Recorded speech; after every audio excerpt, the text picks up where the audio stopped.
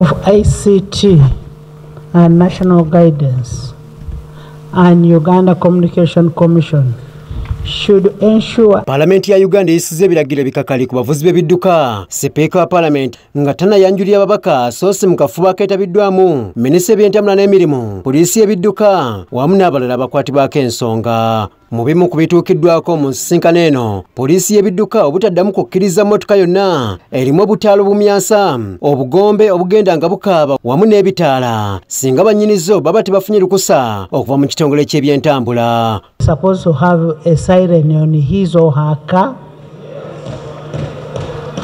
Not everybody is supposed to have those lead lights on the cars.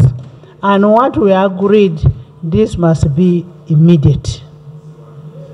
Remove them.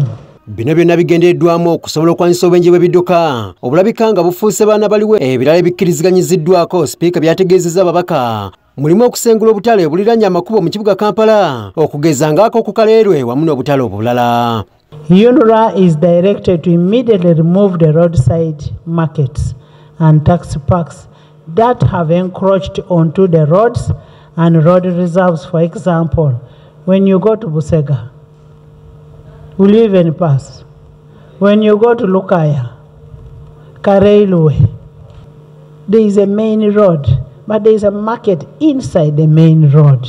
Which kind of country are we living in? bano era bakkiriziganyiza ku kyobutaddamu kukkiriza mmotoka yonna okusimba ku mabbali g'oluguudo naddala emmotoka ebinene wabula mu kino wabaddewo okwewunaganya ku ngeri gye kinaateekebwa mu nkola We have talked about removing those cars from the road, making sure that we replace the the signposts that have been removed, uh, making sure that we create awareness of what is happening with the road safety, ensuring that these sirens of yours are removed.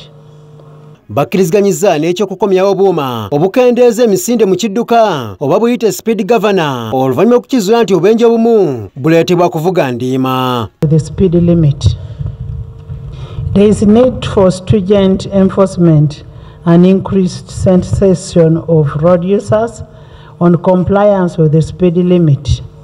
There is urgent need to reintroduce the installation of speed governors in all vehicles to regulate the speed. Wabula ababaka ba paalamenti be tusobodde okwogerako nabo ku ebyo ebisaliddwawo. Omuli shamimu malende nga ye mubaka omukyala akiikirira kampala. Alaze obutale bumativu ku ngeri obutale bw'omu kampala. Gye bugenda okusengulwamu. Buli munnayuganda alina eddembe okukola omulimu gwonna bwe guba nga tegumenya mateeka.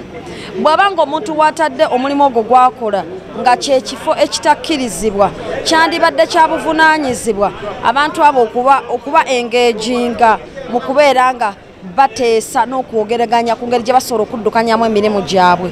Abantu abasinga bakolera mu butale ku roadsides basasula essente kanso ebasolooza. Basasula empoozi ez'enjawulo era tebakola mirimu gimenya mateeka. N'ababaka abalala bakubaganyiza ebiro olwekatosi lwa myaka esatu nebi ebinnya biri muli biyitirivu. Kitegeeza nti omuntu aba asala kinnya n'atomera omuntu.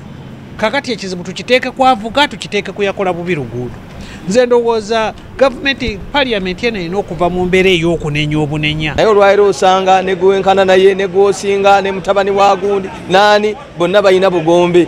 Ne bannaffe ababaka ba palamenti bannaffe akubira eŋŋombe n'ova mukubo n'ogamba baani ayitawo mugenda okutuuka wano mutuukira wamu n'osanga sebu nga yavaamu kizuuliddwa nti gavumenti tejja kusobola kulondoola mmotoka zino wamu n'emisoso emirala. Bano kwe kusalawo okufuna kampuni y'obwannannyini eneekwasibwa omulimu guno